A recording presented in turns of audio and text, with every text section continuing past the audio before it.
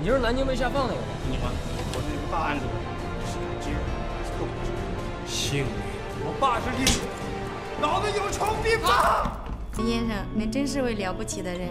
罪犯入狱犯故意杀人罪，判处绞刑，立即执行。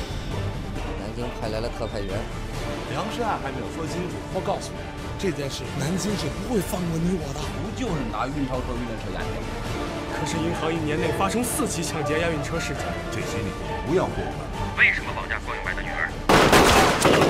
再上来，这小妮子就没命了。号召起义，你就是那天开车打我那个警察。这就是你们的纪律，校长。你不用以为你做的没事，你不知道我是正义执法难民，有一半是我饿死的。老年男权孩子，一辈子好。判官，久仰，我们终于见面了。